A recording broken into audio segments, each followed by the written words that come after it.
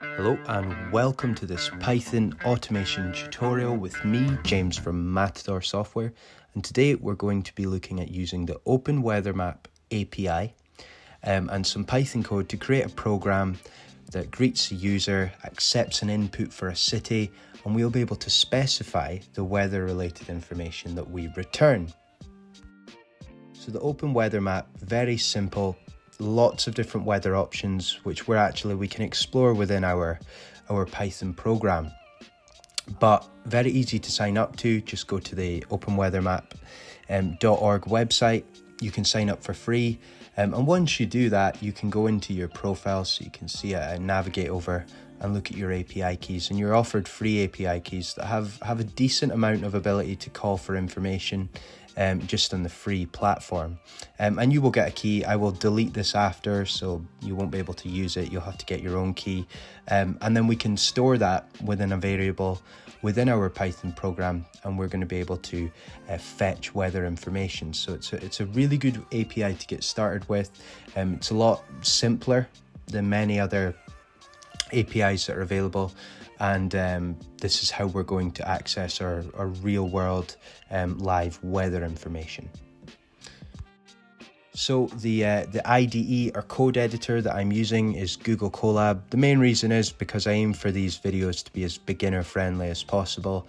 I mean, you can just go to the website colab.research.google.com and you can start with an IDE from there. Um, I am importing packages that I've already installed within Google Colab. So if you haven't imported requests, you may need to use pip install um, and you can research that. So pip install um, and whichever library or package you're you're taking into your Python program. And again, I'm importing in datetime, so if you hadn't installed that before, um, you can you can do that as well. So the first things we need to import requests because that's how we make a HTTP request to a web page. And that's vital when we're using our APIs.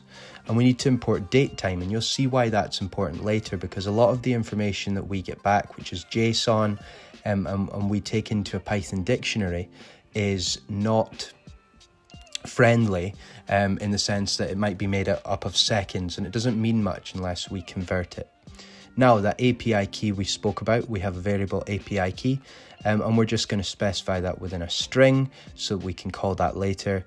And our base URL which is just going to be I'm using version 2.5, you may be using version 3, uh, but we have that base URL and we're going to join this together soon um, and, and you will see how this works as we move on through the tutorial. So to make this a bit more intuitive, we want to have a method to greet the user um, when we go to fetch our weather data from our API automatically. So we just have a variable with a greeting. Here we go, we can run it. Welcome to your weather tracker, which city do you want to view? And now we're going to create a method um, where we can input an actual um, city value, so the name of a city. Um, so we've got the input function there, and we can just um, ask the user to enter a city name.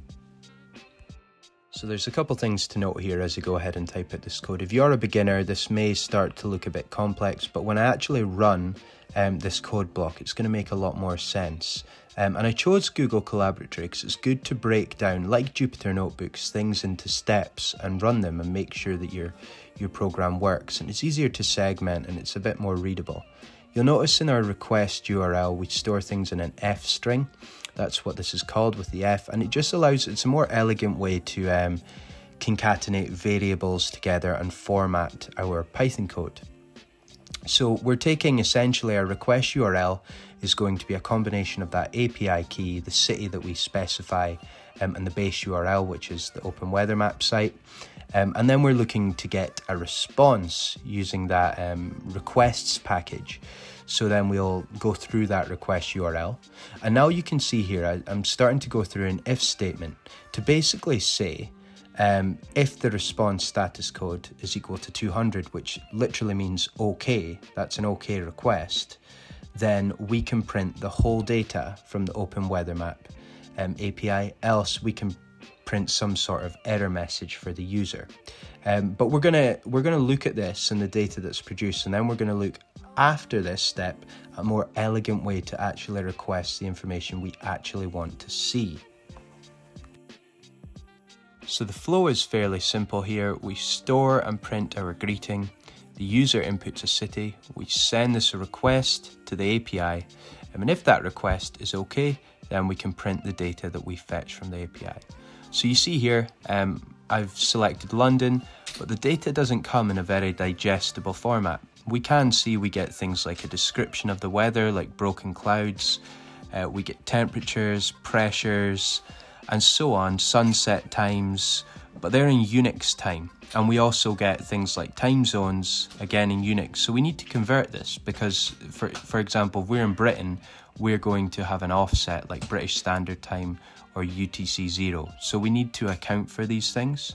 So now we're going to look at how we can actually fetch the information that we require um, using this um, data that originally came through in JSON format to actually pinpoint what we need to retrieve. So we can actually copy and paste um, a lot of our previous work up until that point where we get the response with the JSON information.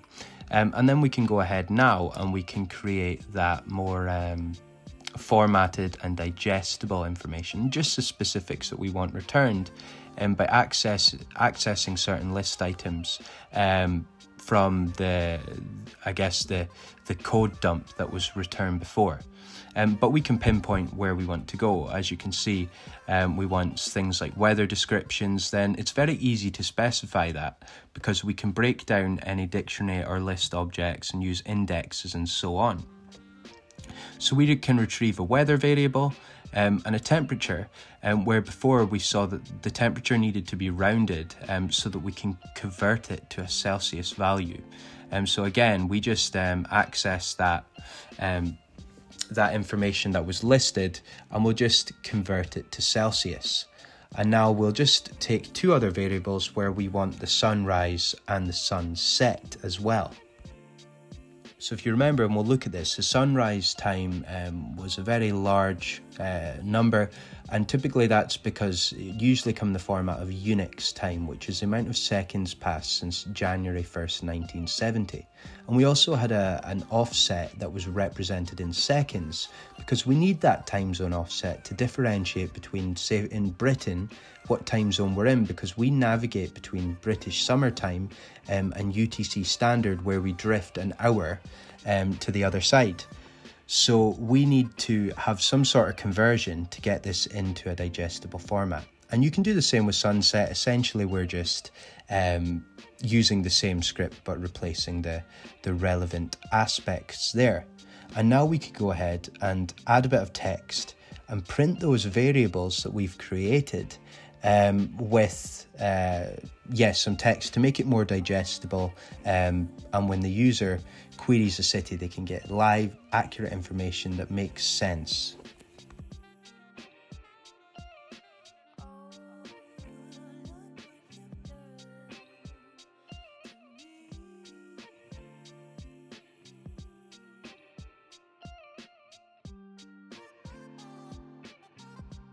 Okay, so we've got our variables and the uh, appending text typed out and an else statement just in case um, we don't get an accurate response code or there's a city name that, that we don't recognize and so on. But you can see here um, it returns good information. So we get Paris, the summary, the Celsius, and the sunrise and sunset times. And we could test this scan type in Manchester, see we get nicely formatted information with time relevant to the time zone we are in. If you want to see me implement this with an actual front end, uh, let me know in the comments. And as usual, feel free to like, comment, subscribe, and share. Thank you.